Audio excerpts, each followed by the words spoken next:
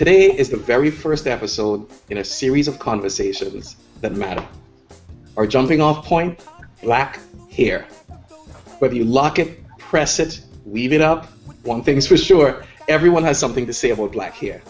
Mintel Group reports that since 2009, sales of chemical relaxers fell by 30% across North America. Our question is Has natural hair made a comeback?